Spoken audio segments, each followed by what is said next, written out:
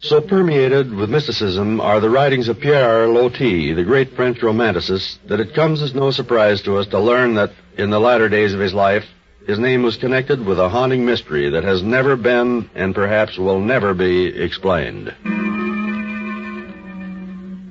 Dear to Pierre Loti's heart was his Oriental art collection. Of all the pieces which he had acquired through the years, the one that pleased him most was the one that he himself had created. It was a mosque, a beautiful, gleaming, domed reproduction of a Mohammedan place of worship.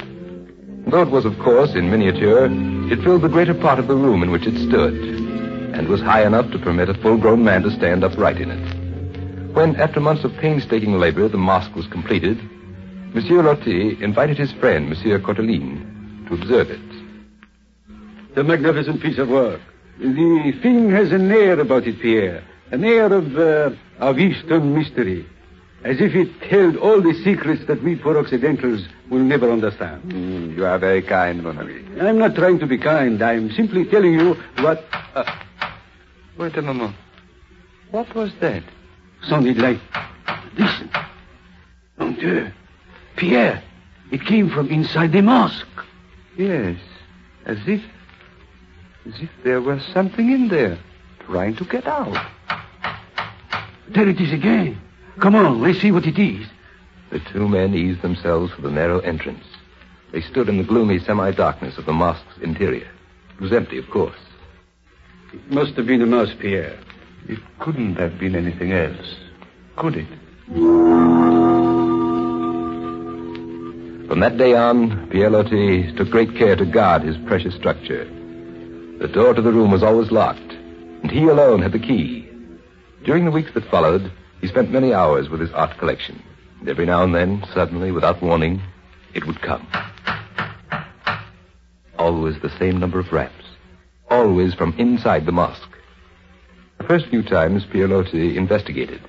And then, later, he merely sat and listened and wondered. But one night, he chanced to fall asleep in the room. He was awakened shortly before midnight by the same mysterious sound. He arose from his chair and stepped inside the mosque. Mon Dieu. No. It isn't possible. In an instant, Pierre was at the telephone calling his friend, Courteline. A half hour later, the two men stood inside the mosque. It was brightened by the rays of a flashlight in Pierre Loti's hand. There, on the floor, what do you see? Footprints. The footprints of young children. Yes, clearly visible in the dust on the floor of the mosque were the impressions of children's naked feet. And yet there were no children in Pierre Loti's home. None came to visit him. Nor was this the only time the prints were observed. No matter how often he wiped them away, they continued to reappear. Was it true, as Courteline had suggested, that the mosque held oriental secrets which no Western mind could ever fathom? If not, then what is the explanation of this baffling riddle? A riddle incredible but true.